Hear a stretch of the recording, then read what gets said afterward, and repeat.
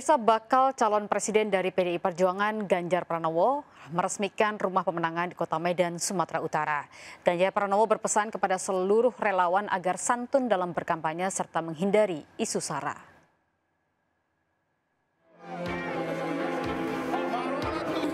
Pengurus dan kader PDI Perjuangan, Partai Perindo, Partai Persatuan Pembangunan dan Partai Hanura mendampingi baca pres Ganjar Pranowo melakukan safari politik di Sumatera Utara.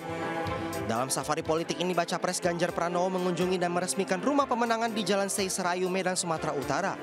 Ganjar mengajak kepada seluruh pengurus dan kader partai koalisi untuk mulai melakukan pendataan kepada seluruh relawan hingga ke tingkat kecamatan dan kelurahan. Tolong betul-betul kalau yang nanti kampanye atau menyampaikan pesan melalui medsos, kita pakai kalimat positif dan baik.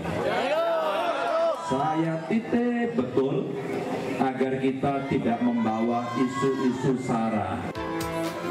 Selain meresmikan rumah pemenangan, Ganjar Pranowo menyambangi markas juang relawan dan sempat terkejut lantaran terpajang bingkai foto keluarga Ganjar Pranowo. Dari Medan, Sumatera Utara, Ahmad Ridwan Nasution, iNews melaporkan.